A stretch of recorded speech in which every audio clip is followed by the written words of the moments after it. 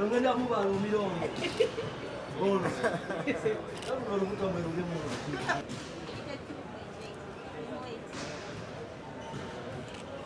logic behind having this charity boxing event was to help those girls who do love boxing. They train so hard, but they lack the equipment. That's why we decided to come up with such an idea of having the charity boxing event. It's going to be hosted tomorrow by Nara Promotions. So we are requesting all of you guys who love boxing to support these girls in any way you can to come and give us a hand and help these girls because they love boxing, but they lack the equipment to, for them to train harder and become successful.